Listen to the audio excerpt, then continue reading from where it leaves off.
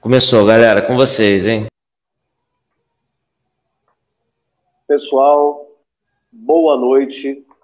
É, queria agradecer aí o apoio do, do Peter Sana, que está nos ajudando aqui na retaguarda técnica. É, agradecer aí ao Jonathan e ao Alexandre pelo convite. E a gente tem hoje uma conversa muito relevante é, por conta desse dia, que é um dia emblemático de luta, que é o 18 de maio, que, é, conforme falamos, né, o dia de luta antimanicomial, que é um, um movimento que caracteriza-se pela luta por direitos das pessoas com sofrimento mental. No, no centro desse movimento está o combate à exclusão de pessoas do sofrimento psíquico grave e, e de enfrentamento, principalmente, a tratamentos é, desumanos. O, a origem né, desse dia de hoje, ela se dá né, no movimento da reforma psiquiátrica que começou no final da década de 70, em um processo mesmo de democratização do Brasil, aí houve debate também né, de quase todas as estruturas, né, o próprio SUS vem nesse período, né, e aí nas décadas seguintes, SUS, ECA, entre outras tantas normativas que a gente teve, e que, lamentavelmente, assim como é, a frente antimanicomial, a gente tem visto retrocesso nos últimos anos. Não só nos últimos dois, três anos, mas desde 2015 a gente tem identificado isso, a gente mais à frente fala. Então, essa luta, ela teve é, marcos né, de referência, como em 87, né, no Encontro de Trabalhadores da Saúde Mental em Bauru e na primeira Conferência Nacional de Saúde em Brasília. E aí, assim como o movimento de reforma é, sanitária, resultou na garantia na Constituição da saúde como direito de todos e dever do Estado através da criação do SUS. O movimento de reforma psiquiátrica resultou na aprovação da Lei 10.216, chamada de Lei Paulo Delgado, que trata da proteção de, dos direitos das pessoas com transtornos mentais e redireciona o modelo de tratamento. É, no último dia 6 de abril agora, de 2021, essa lei completou 20 anos. A gente teve a oportunidade de participar de, uma, de um seminário né, é, é, online promovido pelo, pelo Conselho Federal de Psicologia e foi muito bom né, rever. Eu conheci o, o deputado, na época, o deputado Paulo Delgado e é, acompanhei, não, não, não de muito perto dessa questão, acompanhei um pouco desse processo de, vamos dizer assim, enfrentamento a, a essa violência que as pessoas com transtornos mentais sofrem historicamente. Eu, há pouco tempo, é, colaborei com o trabalho da minha companheira Emanuele, e aí a gente debruçou sobre todo esse traçado histórico né, da, das formas de violação, do atendimento das pessoas que tinham os transtornos, às vezes mais leves, às vezes uma, uma pequena depressão, e eram tratados com uma, de uma maneira muito é, violenta e excludente, e que, consequentemente, levava também muitos desses a transtornos mentais muito mais agudos, agudos mais graves.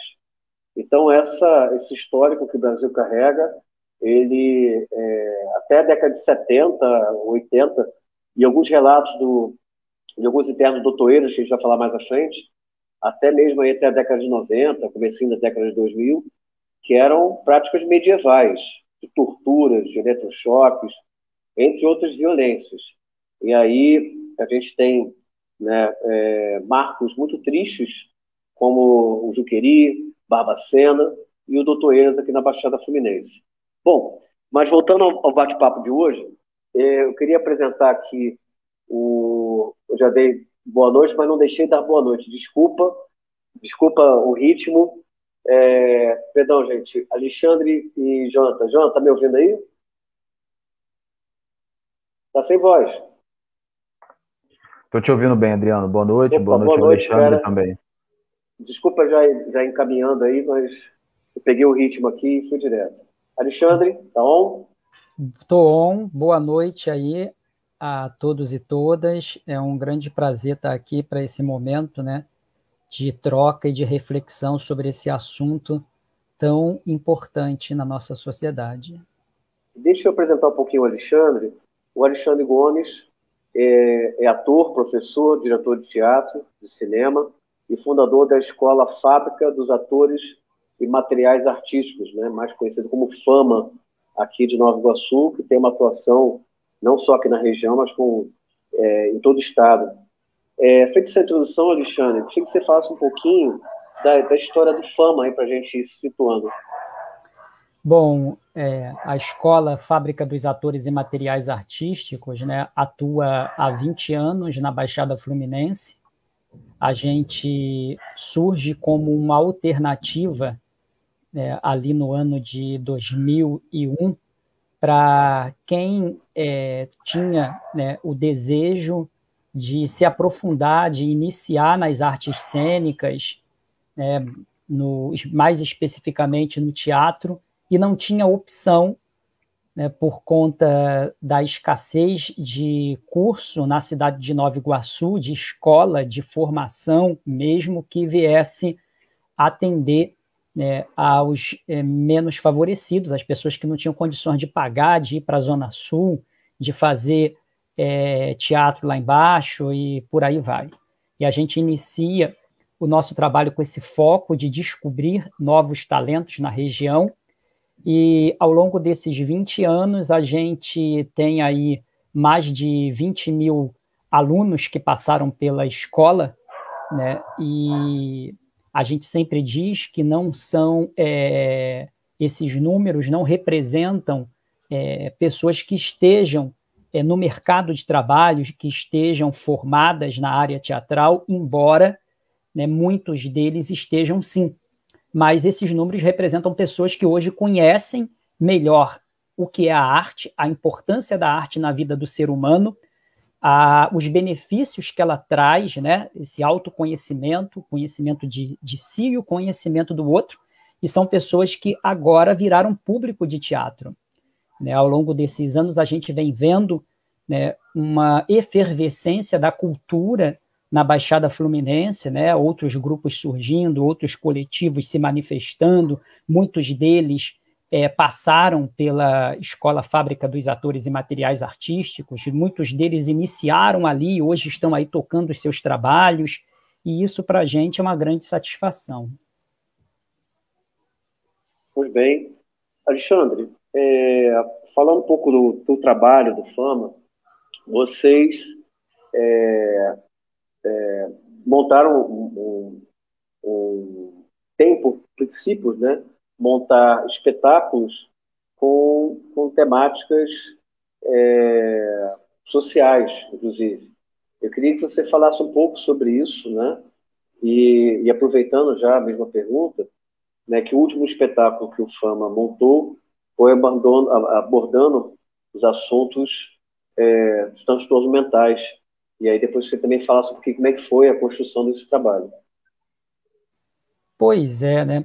A gente é, sempre é, aborda nas nossas é, montagens, é, até mesmo no nosso é, projeto político-pedagógico da escola, é, na, no nosso conteúdo, né, a, que é compartilhado com os alunos, questões sociais, políticos sociais, né? E a gente não faz isso assim com uma questão objetiva, né? Tipo, uma intenção, né? Ou é, é, objetiva de chegar a esse ou aquele lugar, não com a intenção de formar é, pessoas políticas, não com nenhum tipo de intenção que não seja apenas da cidadania, porque a gente entende é, a importância de ser um ator social, né? De ser agente da nossa própria história, de pensar a sociedade que nós vivemos, de pensar o, o, mundo que nós nos encontramos e de discutir isso. Então, é uma coisa muito espontânea, muito natural.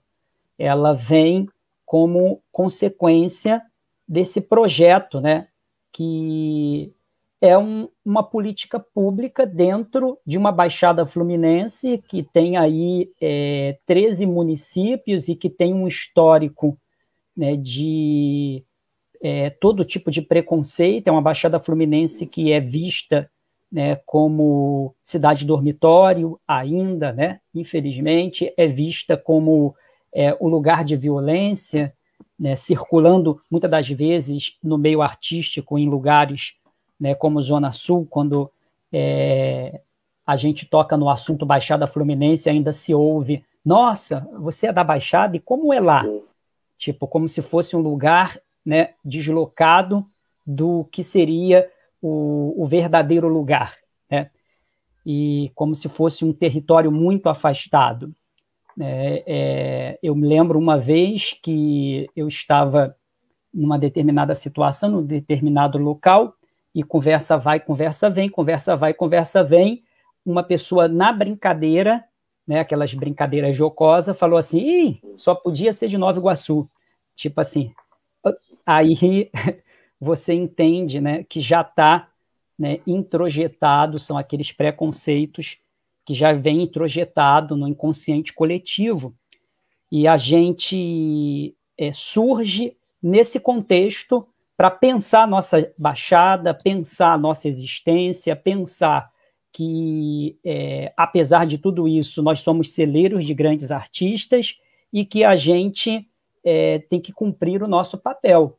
Então, as temáticas né, abordadas na escola, elas sempre vão né, por essa vertente. Nós já montamos peça como construção, né, que abordava o universo da construção civil e a mais-valia, a exploração do homem pelo homem. Já fizemos peça né, como é, João do Vale, o Carcará da Baixada, que não somente fazia uma homenagem ao João do Vale, mas que falava sobre é, territorialidade, falava sobre pertencimento, falava sobre, sobre também representatividade, essa questão toda. E mais recentemente, né, nós recebemos aí o presente de poder trabalhar nesse espetáculo Desculpe o Transtorno com uma temática que nós desconhecíamos, né? Que era para a gente um universo em que a gente ouvia falar, né? Já era sabido que as doenças psicossomáticas elas são né, as mais diagnosticadas no século 21, são as que mais né, se manifestam a cada dia, né, como consequência desse capitalismo selvagem, talvez, em que vivemos. Mas, apesar de tudo isso, nós não tínhamos é, aquele conhecimento mais aprofundado da questão. Então, com a é, oportunidade que nos chegou de abordar é, esse tema, né, o desculpe o transtorno, né, acho que a gente só tem a agradecer e foi assim um momento único, um momento né, ímpar, maravilhoso, em que a gente pôde de fato né, se aprofundar num tema, numa pauta que é super necessária nos dias de hoje. Mais uma vez, uma pauta política, né? uma questão social. Então, como você fala, né, os temas que nós abordamos sempre vão nessa vertente, né, buscando provocar uma reflexão, buscando levantar questões, buscando não estabelecer uma verdade, né, não é esse o nosso propósito, e nem é, levantar uma bandeira moralista e nem maniqueísta daquilo que seja certo ou errado, mas sim de provocar, através da arte, né, que pode ser, né, não tem a obrigatoriedade de ser, mas a gente entende que ela, é, por estar intrinsecamente ligada ao ser humano, ela pode ser um instrumento de reflexão e de avanço enquanto ser humano né, né, na face da Terra, na existência que cada um de nós temos aí nesse mundo. Bem, aproveitando aí que é, você falou um pouco do, do espetáculo. Eu queria uh, apresentar o, o Jonathan Magela, né, que está participando aqui com a gente. Né? É, o Jonathan ele é formado em História e, pós, é, é, e pós-graduado em Educação para as Relações Raciais pela UF, e também formado em Dramaturgia pelo Núcleo SESI, e roteiro pela Academia Internacional de Cinema. O Jonathan também fundou o Aleatórios, o jogo literário que reúne dezenas de autores e leitores de Nova Iguaçu, e escreve textos para teatro, cinema é, e, sobretudo, é, conteúdos literários. Jonathan, eu queria que, boa noite mais uma vez, é, que você contasse um pouquinho da sua história e como é que foi a construção, né? Contasse pouco, se apresentasse um pouco e também como é que foi a construção do texto, é, desculpa, transtorno e como é que ele se materializou, né, com o espetáculo aí na relação com o Alexandre. Boa noite, João. Boa noite, Adriano. Boa noite, Alexandre. Boa noite a todos. É muito interessante ouvir o Alexandre falando sobre esses 20 mil alunos, sobre esses 20 anos né, de fama porque eu fui um desses 20 mil e participei do Fama como na formação de atores, né, na, na, modalidade fundamental, no ano de 2017, se eu não me engano. É, foi uma experiência incrível, uma experiência de cidadania, e não só de cidadania, eu aprendi coisas muito básicas para a vivência lá, como exemplo, respirar, eu descobri que eu não sabia respirar direito, e através da professora Vina eu aprendi a respirar. Mas eu acho que o que, o que mais foi interessante no Fama foi que quando eu estava no módulo 2 da formação de atores, apareceu a vaga do Núcleo SESI de Dramaturgia, né, um processo seletivo, que o SESI tem isso tanto no Rio quanto em São Paulo, em Curitiba também, me parece. E através do Wellington, que é um professor do, do Fama também, eu acabei é, ficando sabendo desse processo. O Fama já realizava alguns festivais de esquetes, eu, eu, eu escrevi um texto para o Fama, que foi bem recebido, e escrevi esse texto no Núcleo SES de Dramaturgia, e acabei conseguindo me tornar aluno, e me formei como dramaturgo no ano de 2018. Aí, cara, é, o núcleo de dramaturgia do SESI, ele propõe uma, uma experiência de escrita, e eu, eu uso a palavra experiência no sentido quase etimológico dela, porque a palavra experiência tem esse per aí, que é, vem de perigo. É a mesma é a mesma raiz, é a mesma etimologia, né?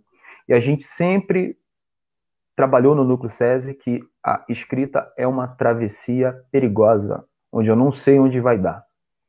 Estou fazendo essa introdução, Adriano, porque quando escrevi o Desculpe Transtorno, eu não sabia exatamente sobre o que ele se tratava eu tinha algumas inquietações e aí eu queria é, dividir com vocês aqui. A, a, minha primeira inquietação era me, me vir com, com 28 anos, 27 anos na época, e visitando os comércios do meu bairro e vendo as pessoas que tinham estudado comigo no ensino fundamental trabalhando nesses comércios. O que é ótimo num período que você tem um desemprego muito grande, né? Mas é, eu eu encontrei, acho que foram três colegas trabalhando como caixa de supermercado, e eu me senti um pouco culpado por estar com o meu corpo tão livre, né? E elas três ali, trabalhando como caixa de supermercado, naquele cercadinho de 50 por 50 centímetros, um metro por um metro, ficando ali 10 horas por dia, e comecei a me questionar o que, que poderia gerar um tipo de trabalho desse, né? Onde o corpo, ele fica aprisionado o dia inteiro. Uma outra inquietação minha é, é a minha relação com meu tio. Meu tio, ele é esquizofrênico e é uma relação de muito medo e medo infantil, né? Quando eu era criança, tinha muito medo de, de das, das, reações dele, mas ao mesmo tempo de muito encantamento, porque ele é catador de papelão, de lixo, dessas coisas na rua, e sempre que ele anda pelo, pelo bairro, ele anda com muita alegria. E era a outra inquietação, como um cara pode ser tão feliz fazendo o que ele faz. E eu comecei a acompanhar isso mais de perto, depois que eu, que eu amadureci. E uma terceira, uma terceira inquietação minha era, que aí não tem nada a ver com isso que, que a gente está falando, mas era basicamente algumas crianças que estavam é, sendo vendo tiroteios pela primeira vez depois da instalação das UPPs.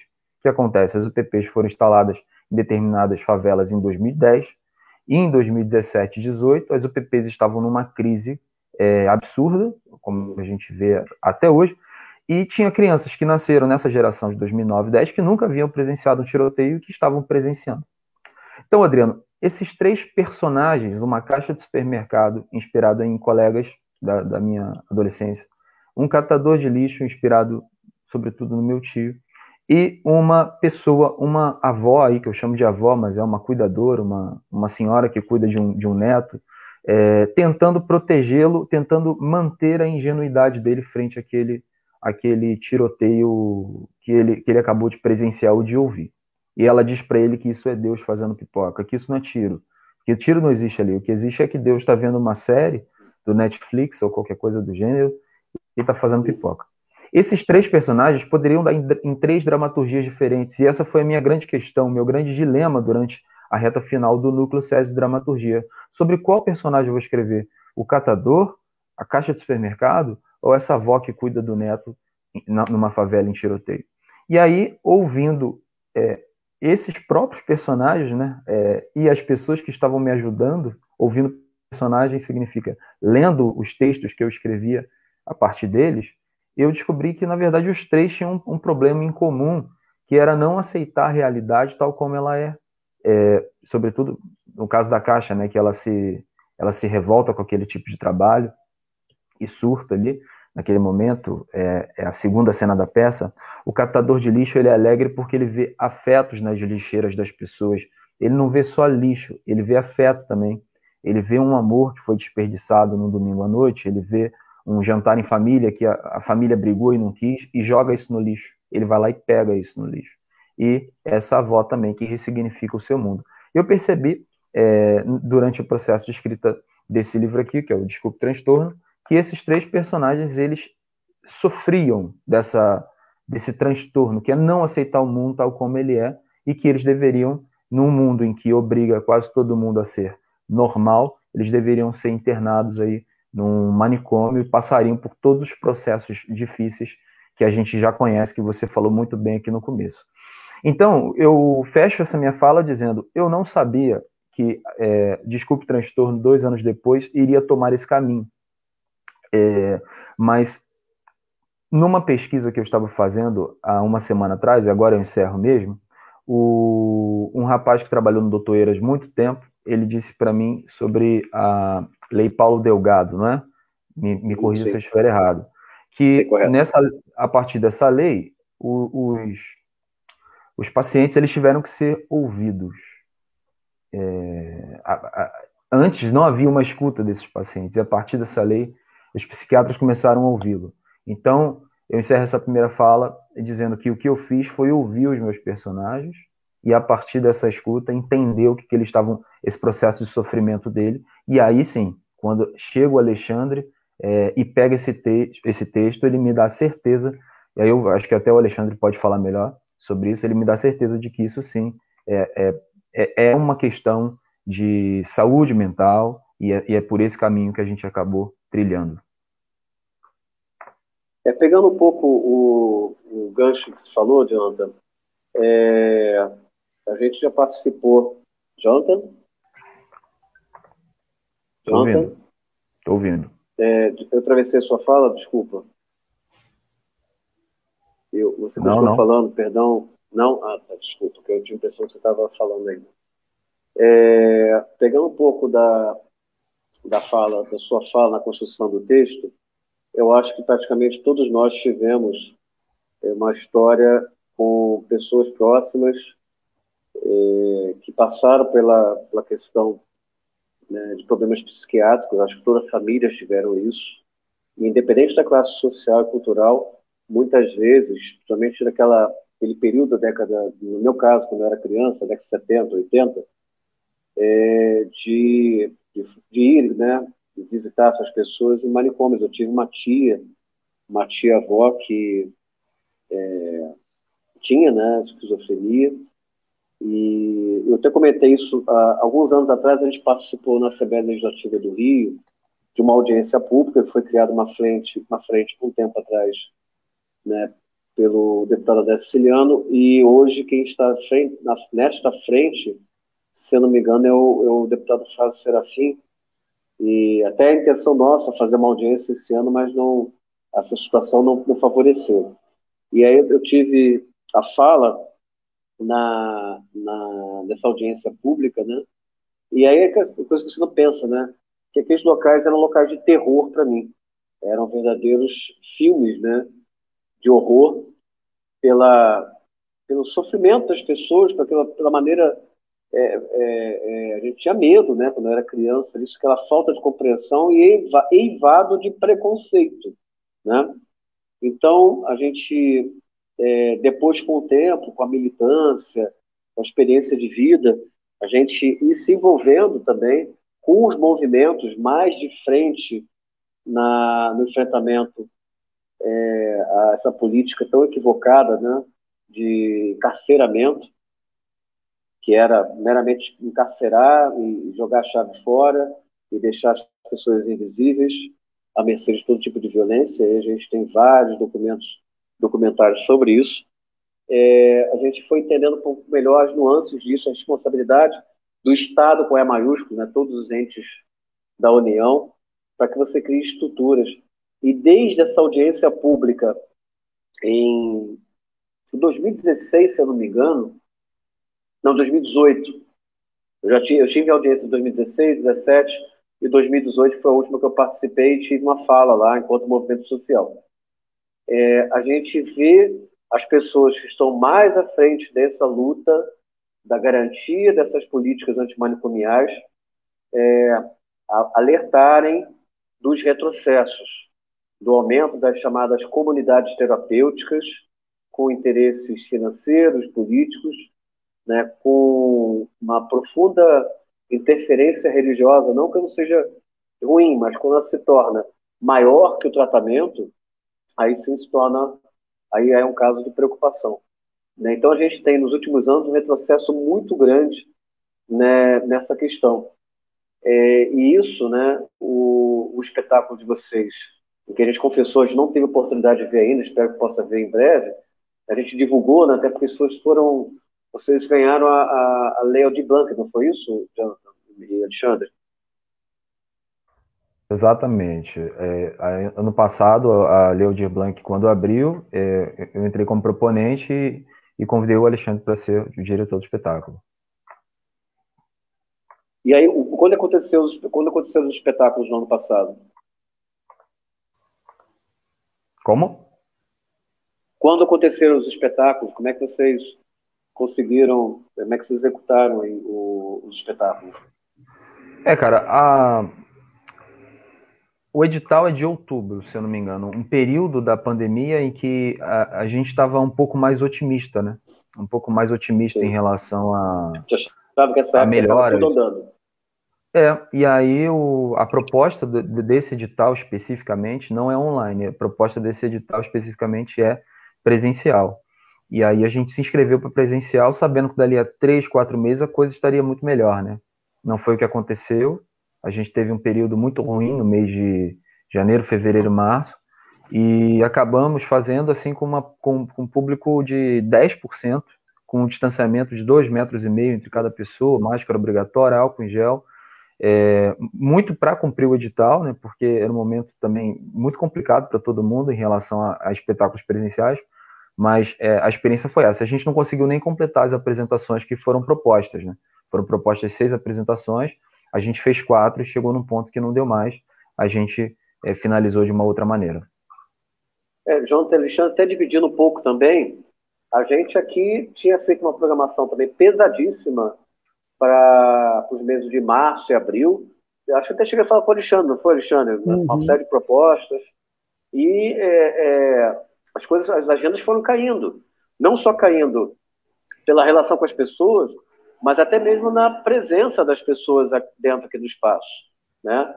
Então, isso impactou todo mundo, cara. Isso aí não é... é a gente está num momento atípico, né? É compreender é, e continuar produzindo, continuar fazendo. É, e nesse período, inclusive, né? A gente, pegando o gancho, né, para falar um pouco da, da questão do Doutoreiras, é, a gente é, tem uma, uma, série de relações né, com pessoas da cidade de Paracambi, né, com gente que trabalhou, gente que é, foi interna, né, algumas pessoas do poder público que atuaram né, para que fosse fechado. E quando eu fui fazer uma pesquisa, Eu me enganei, eu me enganei para você ver como às vezes eu achava que eram 12 anos do, do, do fechamento.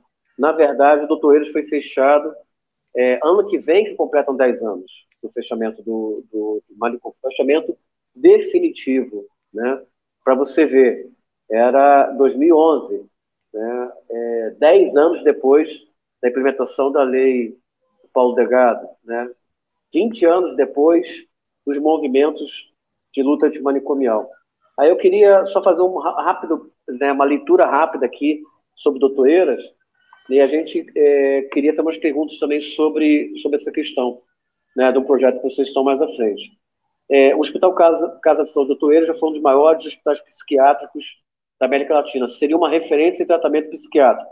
Localizado em Paracambi, na Baixada Fluminense, o Doutor Eiras atendia a pacientes da capital de municípios da região. O manicômio sofreu intervenção conjunta das três esferas de poder em 2004 e foi proibido de receber novas internações após a prefeitura constatar as condições subhumanas de sobrevivência e maus tratos dos pacientes. É, ele atendia, né, praticamente não só a Baixada, a região metropolitana toda, somente a capital do Rio de Janeiro, né, é, mas somente em 2009 a Justiça determinou a transferência dos pacientes para outras instituições e o fechamento da, da unidade como parte da reforma psiquiátrica e das novas políticas de saúde mental instauradas pelo Ministério da Saúde. Entretanto, de acordo com a promotoria de Paracambi, um ano após a determinação judicial, apenas 10 dos ainda 200 pacientes ah, haviam sido transferidos para outras unidades. E aí tem uma série de informações que a gente já publicou no nosso portal, o portal C3, não queria me alongar, e somente para encerrar isso, é, e uma sexta-feira, essa história, uma sexta-feira, dia 23 de março de 2011, ocorreu o fechamento definitivo do Hospital Caso Doutoreiras, com a transferência dos últimos sete internos para residências terapêuticas em Paracambi, que foi uma política muito acertada, feita não somente na cidade, como também em outros municípios, né? já que isso fica de responsabilidade é, dos entes principalmente dos entes municipais, de executar isso na ponta.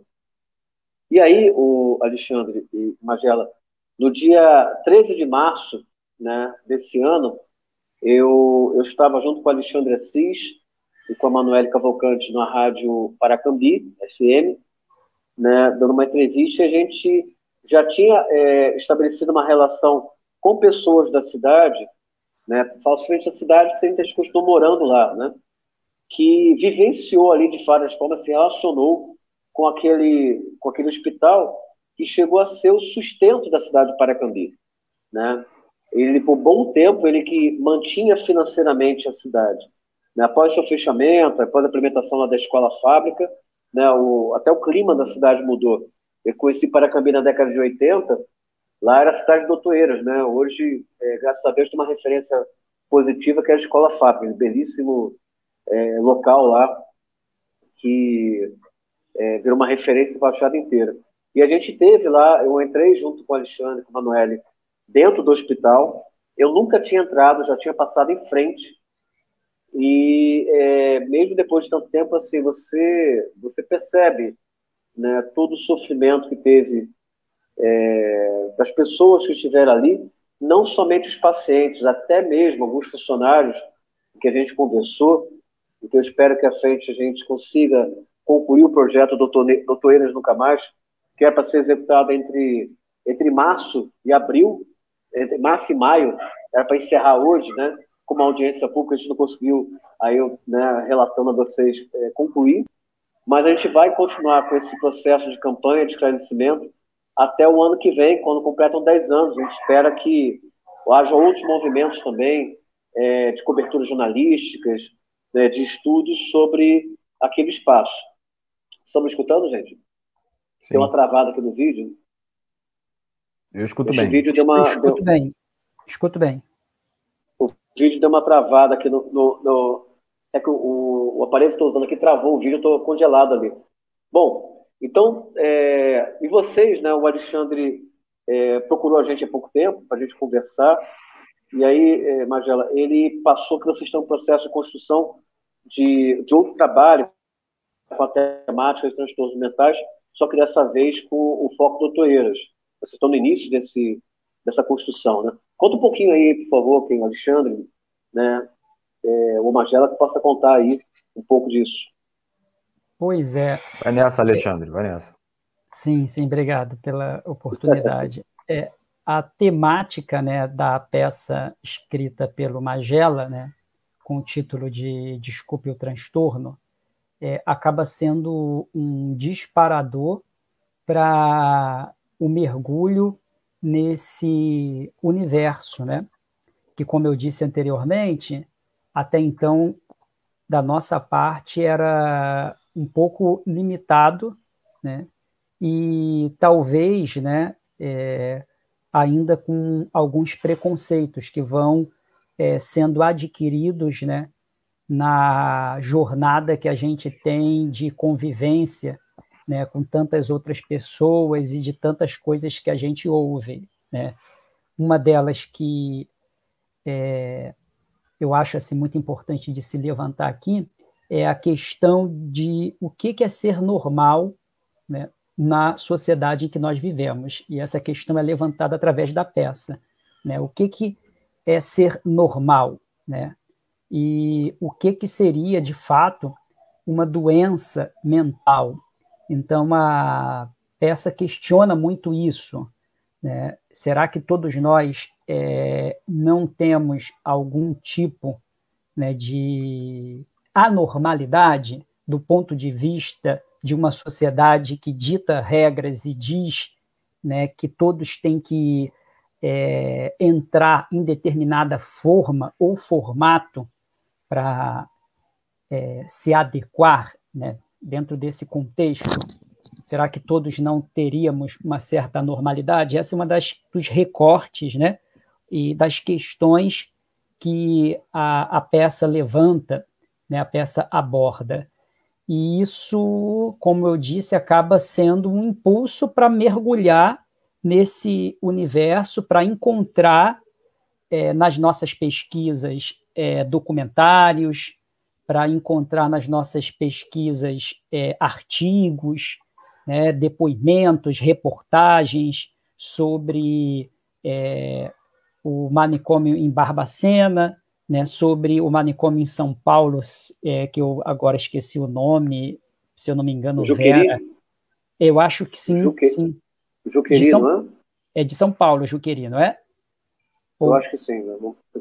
É, porque nós, na nossa pesquisa, nós estudamos é, o Barbacena, estudamos um em São Paulo, que me fugiu a memória, e encontramos esse tão perto da gente, né? O de Paracambi, o doutor Eiras, que é, já foi considerado um dos maiores da América Latina, uma referência e que escondia muita coisa por debaixo dos panos, assim como os outros, né, que tinha um tratamento desumano com as pessoas e por aí vai. Então, isso acaba fazendo com que é, a vontade de adentrar né, mais profundamente nesse tema crescesse. Né, e isso nos impulsionou a mais pesquisa e o desejo de continuar é, nessa temática que nós estamos trabalhando atualmente, que seria dos trans, transtornos mentais, fazendo uma fusão entre teatro e audiovisual. Então, nós começamos a pensar é, como que seria fazer um documentário né, sobre o Doutor Eiras, em Paracambi, tendo em vista que nas nossas pesquisas né, encontramos reportagens, né, encontramos é, coisas escritas né, em vídeo, mas não encontramos nenhum documentário, nada que abordasse a questão específica do doutor Eiras, né? E nada ainda que viesse juntar essas duas linguagens, que é a linguagem teatral e audiovisual. A gente veio de uma experiência anterior, que também foi pela Lei Aldir Blanc, em que fizemos um curto, curto doc, né, chamado A Jornada dos Heróis Iguaçuanos, onde contamos a história de três é, trabalhadores da cidade de Nova Iguaçu que tem que matar a cada dia um leão para poder sobreviver. E muitas das vezes eles são verdadeiros invisíveis sociais. E nós, ao é, abordar essa questão, usamos o teatro junto com o audiovisual. E foi uma questão inovadora, uma questão que deu é, certo. E aí a gente, querendo é, adentrar mais profundamente no tema, a gente pensou, poxa, é, não seria bacana, de repente, a gente manter essa pesquisa de teatro e audiovisual, qual é o imbricamento dessas duas linguagens, mas também qual é o encontro e a harmonia que elas acabam encontrando em si, como que nós podemos usar as duas linguagens e agora com esse tema né, do doutor Eiras, como que seria nós é, abordarmos essa questão. Então, eu, juntamente com o Jonathan aí, é, estamos, é, demos o primeiro passo, que é a preparação de um, de um pré-roteiro, né, um projeto assim muito embrionário, né, e que nós temos o desejo assim de levar à frente, né, embora que a gente venha estar tá dando aí passos paulatinos nessa direção, a gente entende a necessidade de se levantar, né, através da arte, essa pauta. Né, porque, como o Adriano mesmo disse, nos últimos anos, é, nessa luta antimanicomial, né, é, houveram retrocessos, né, e acho que o teatro acaba sendo, tanto o teatro quanto o audiovisual, acaba sendo uma arma né, de luta a favor né, do avanço das políticas públicas, porque uma vez que a gente coloca o dedo na ferida, uma vez que a gente levanta a temática, uma vez que a gente provoca a discussão e a reflexão sobre o assunto, isso pode reverberar em vários desdobramentos positivos para essa causa. Então, com né, é, na verdade, é, impregnados, talvez essa seja a palavra, né, ou é, afetados né, de tudo isso que eu estou dizendo, a gente está dando aí os primeiros passos rumo a esse objetivo, né, que é um trabalho né, específico sobre o doutor Eiras em Paracambi. É, e Alexandre, pegando, pegando um pouquinho o gancho, Gente, eu estou aqui um pouco em dúvida que o meu, meu, meu aparelho aqui travou, eu não sei se vocês tá estão bom. escutando. Para a tá? gente aqui tá. O vídeo tá, o vídeo está travado. Estou ouvindo bem. É, o vídeo está tá travado. É, só para pontuar umas coisas, você falou dos, dos absurdos que aconteceram, e a gente, é, ao pesquisar muito superficialmente, é, a gente encontrou em quase todos estes é, manicômios, né, não só as pessoas que passavam por transtornos mentais, mas os indesejáveis da sociedade. É, a pessoa de orientação homossexual, a pessoa que tinha é, o, era alcoólatra, a pessoa que engravidou do filho do poderoso errado da cidade, desafetos políticos, sabe, que às vezes naquele período de ditadura ali, você não tinha muitos mecanismos, eram jogados ali, aqueles que às vezes consumiam é, drogas muito mais leves até do que o próprio álcool e eram internados, a gente pega e remete ao filme, ao livro, o filme Bicho de Sete Cabeças, que você pode ver o estrago que uma conduta não adequada, em, em tese, socialmente, é, uma família com entendimento que aquilo ali seria a resposta para esse transtorno, esse desvio, e coloca a pessoa numa situação que a impacta para o resto da vida inteira. E uma coisa que me chamou atenção foi quando a gente propôs para um grupo de estudos de psicologia que tratasse do Dr. Eiras, porque era aqui do Rio de Janeiro, se encontrou pouca informação. Para falar a verdade, depois eu encontrei até bastante conteúdo acadêmico, mas nem todo mundo está disposto, às vezes, a ler 400, 600 né, páginas de, de estudos, né?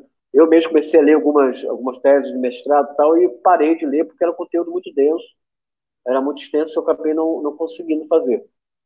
Então a gente tem, às vezes, nos outros locais, né, falando do Juqueri, falando do, do é, principalmente Barbacena, né, é, uma série de acessos à informação sobre o que aconteceu ali, e na nossa região aqui na Baixada Fluminense a gente não tem, e muita gente hoje que, é, quando eu visitei lá é, tive lá na, na, nas instalações doutoreiras com o Alexandre Assis e com a Emanuele, é, eu mandei para algumas pessoas falando, olha, estive aqui, olha aqui as fotos, e tanta gente que trabalhou lá quanto foi paciente tiveram reações muito muito ruins, muito tristes. Eu, eu me, quase me arrependi de ter é, compartilhado a foto com elas, porque, é, na verdade, estava compartilhando para falar com ela o seguinte: olha, estou dando continuidade que eu falei com vocês. A gente vai debruçar sobre esse assunto. A intenção foi essa. Mas aí eu tive uma reação de algumas pessoas que me deixou muito triste, né? Eu me senti um pouco culpada de fazer isso. Mas eu acho que, assim, o papel das instituições, o papel é, da arte é essa de buscar reflexão, principalmente no momento que a gente está em posicionamentos tão antagônicos em que está arriscado a gente abrir uma discussão sobre a questão do, da luta antimanicomial e as pessoas confundirem com a, com a questão da drogacidade do crack, confundirem com é, condutas de pautas morais, né? Ah, não, é, o cara era homossexual, então tinha que estar internado mesmo. Ah, não, ela teve, ela teve um filho a chamada aspas, não gosto desse termo, mãe solteira, não, tem que ficar internada mesmo, coisa que era, foi legitimado eh, esses absurdos em tantas décadas dessa política de campo de concentração, né, do, que o doutor Eiras, entre outros, né, eh, adotaram.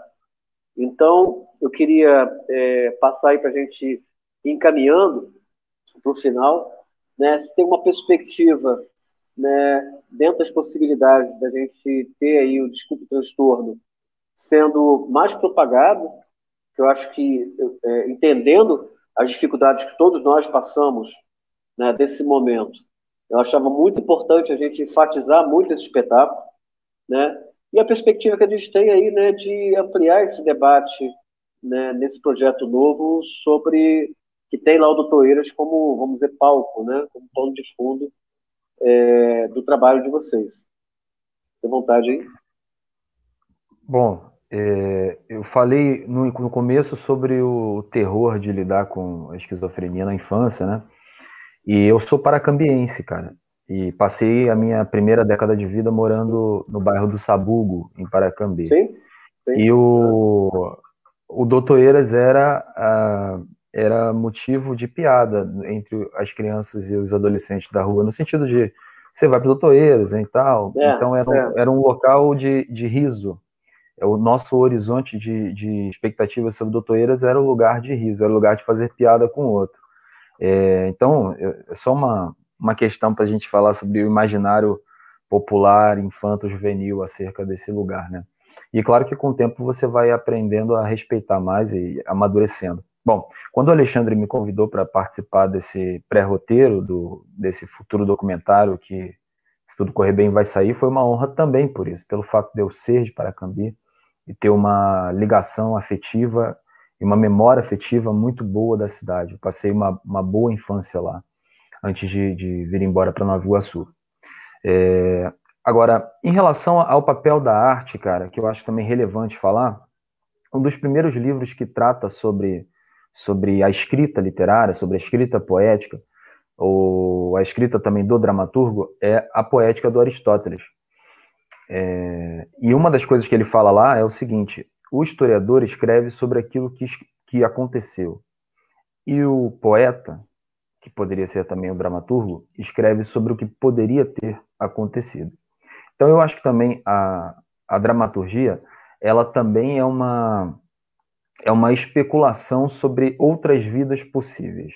É, é em si, é, não deixa de ser também um ato de esperança e de, num período, como você mesmo falou, muito antagônico, né, muito maniqueísta, assim, também abre possibilidades ao diálogo, ao perceber, nos fazer perceber que não existe só uma, uma verdade absoluta. É claro que existe o terror que, que ocorreu com essas pessoas, mas essa não é a única possibilidade de se trabalhar, essa não é a única linguagem pra, para se trabalhar, é o que eu quero dizer.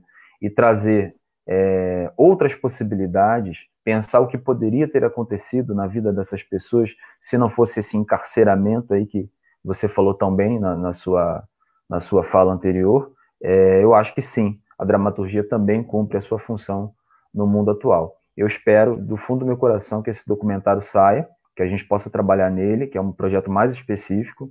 Eu, muito me honra o convite do Alexandre, e ao mesmo tempo que, assim, e aí agora a gente precisa esperar a pandemia baixar e torcer para que cada vez mais tenham pessoas vacinadas e menos pessoas morram, para que a arte ela possa voltar é, ao, entre aspas, é até ruim falar essa palavra, mas ao normal, né? A gente está um pouco fugindo dessa palavra aqui, mas é a única que me vem agora.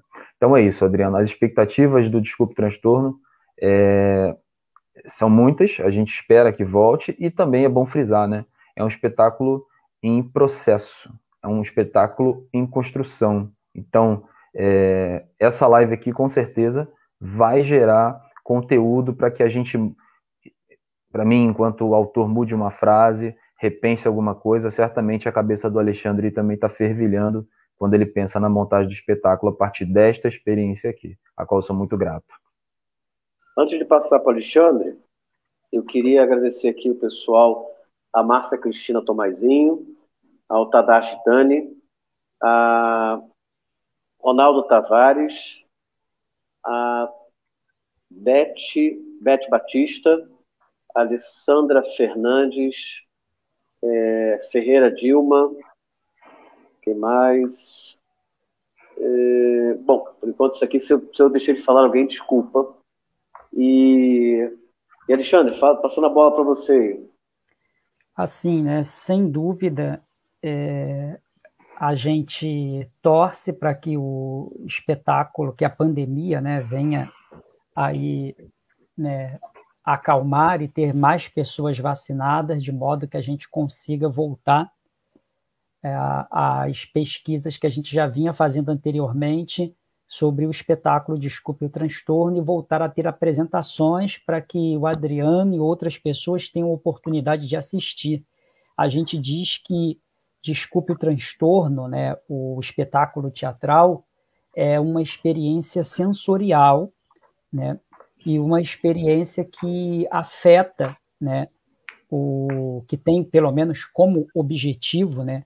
Afetar o espectador no lugar mais profundo possível, para que ele se sinta incomodado e venha né, repensar né, determinadas questões da sua própria vida, da sua própria existência.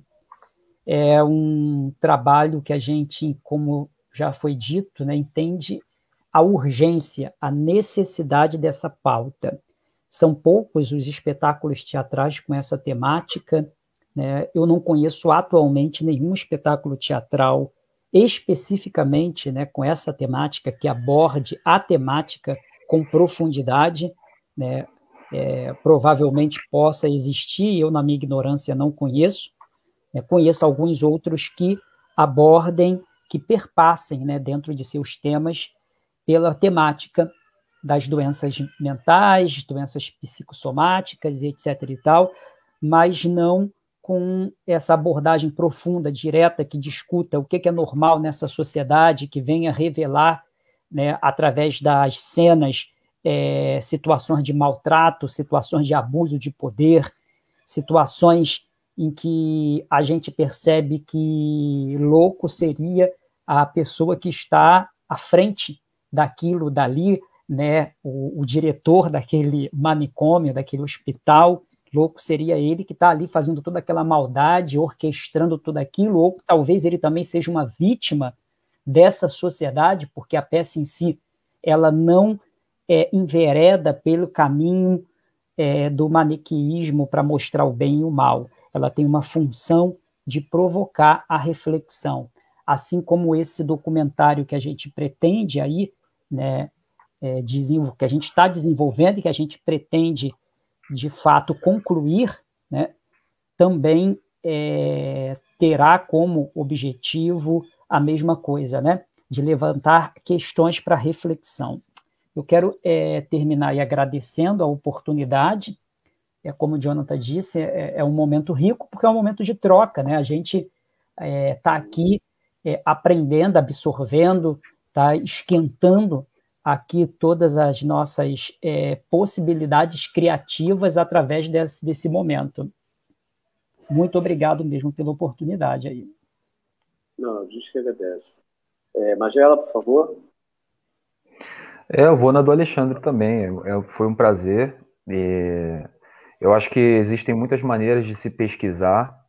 Eu, quando estava pesquisando para o Desculpe Transtorno, eu li desde o Foucault, né, a história da loucura. É, me interessei muito por um professor de São Paulo, que está em São Paulo, chamado Peter Paul Peubart, que tem uma companhia de teatro só com, com, com pessoas que são usuárias do, do saúde mental, né? Mas também eu busquei é, me inspirar nos, nos comentários do YouTube, por exemplo, quando tem lá um, um documentário que fale sobre isso, o que as pessoas nos comentários estão falando. Então, estou é, querendo dizer que tem muita, muitos locais onde a gente pode, pode, tirar inspiração, onde a gente pode tirar referência, e sem dúvida essa, essa conversa aqui de hoje é mais um desses locais. Obrigado, Adriano. Valeu pela parceria novamente, Alexandre. Boa noite aí. Gente, quero agradecer a Magela e ao Alexandre.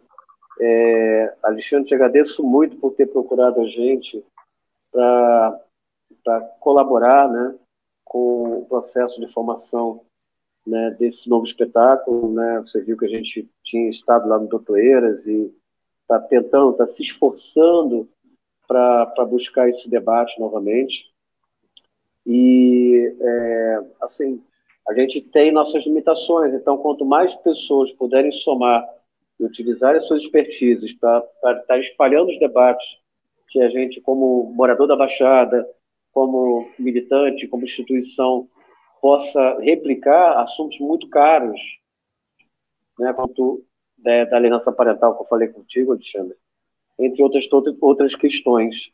Bom, agradecer mais uma vez, Jonathan e Alexandre. É, a gente está lá com o nosso portal de notícias, o portal C3 aberto para qualquer publicação, divulgação que a gente puder viabilizar, as várias redes que a gente montou, nas redes, nas vários canais que a gente montou na rede social, também está aí à disposição. Né? A gente vai agora mudar a página institucional da Concausa, vai criar um setor chamado rede.dh, em que, por exemplo, o, o espetáculo vai virar também ali um, uma, é, um banco de dados né, sobre a, o tema de antimanicomial, da questão antimanicomial, vai estar ali dentro em forma de, de arquivo, né, dizendo que foi feito um espetáculo com tal temática na Baixada Fluminense. E, e gente, se colocar à disposição, se colocar à disposição nosso atual espaço físico, sabe?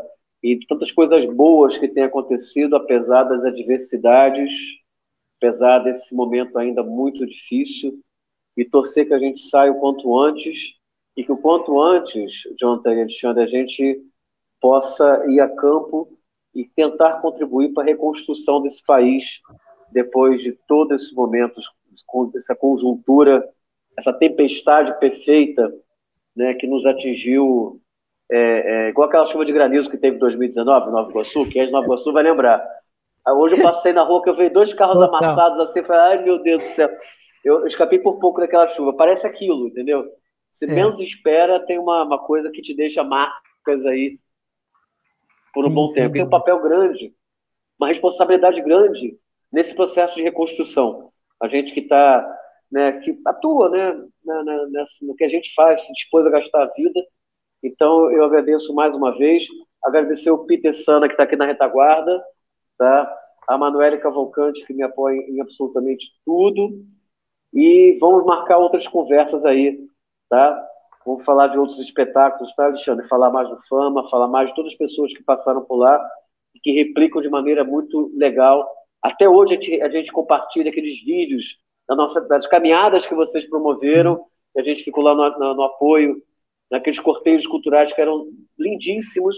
A gente tem que voltar a fazer isso, né? No momento propício, voltar a fazer essas. Estar tá na rua de novo, com alegria. Né? Eu vou, às vezes, a gente vai muito para a rua com protesto, né? É, então, estar tá na rua com alegria, como vocês fizeram com fama, e às vezes estava lá participando, tentando dar uma ajuda, aquilo ali. Eu sempre estou replicando, porque é uma coisa muito legal, sabe? É, pô, lá, aconteceu, aconteceu. Porque a coisa ruim, ela, ela, ela toda hora ela tem seu espaço. E, e, mesmo que seja repetitivo, eu gosto muito de ficar repetindo as coisas boas que a gente fez, sabe? O bom debate, as boas atividades, né? Então, gente, muito obrigado. Vamos encerrando por aí e estamos à disposição, tá, gente? Obrigado mesmo, com Deus. Beijão todo mundo. Valeu. Valeu, valeu, valeu.